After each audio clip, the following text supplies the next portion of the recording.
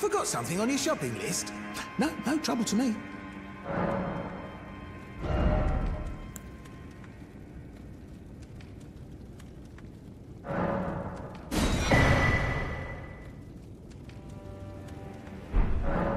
Cheers for that.